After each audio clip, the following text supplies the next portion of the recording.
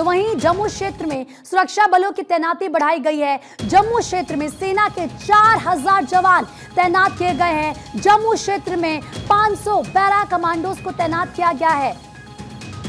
बड़ी अपडेट आपको ये बता दें कि 500 पैरा कमांडोज को तैनात कर दिया गया है और ऐसे में आतंकी हमलों से निपटने के लिए ये एक बड़ा एक्शन लिया गया है। जब तैनाती जवानों की कर दी गई है 4000 जवान सेना के तैनात किए गए। इसमें 500 पैरा कमांडोज हैं जो निगरानी रखेंगे।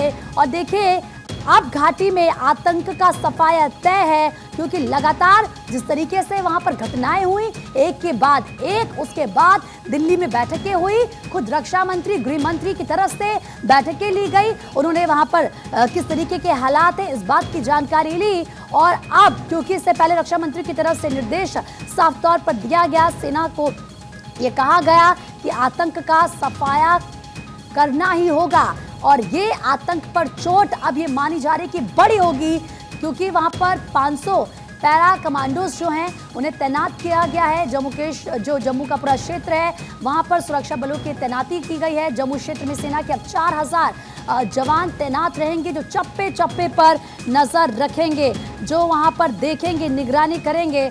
और जो ये आतंकी है उनका खात्मा किया जाएगा। आ, अगर आप देखेंगे हाल फ़िलहाल में कश्मीर टाइगर्स की तरफ़ से हमलों की ज़िम्मेदारी ली गई। ये वो संगठन है जो जिसका खात्मा किया जा चुका था लेकिन उन्होंने फिर से आतंकियों को किस तरीके से एक्टिवेट किया और वो आतंकी जम्मू कश्मीर में दहशत फैलाने की नाकाम कोशिश कर रहे हैं लेकिन हमारे जो सेना है उनकी भी तैयारी पूरी हो चुकी है।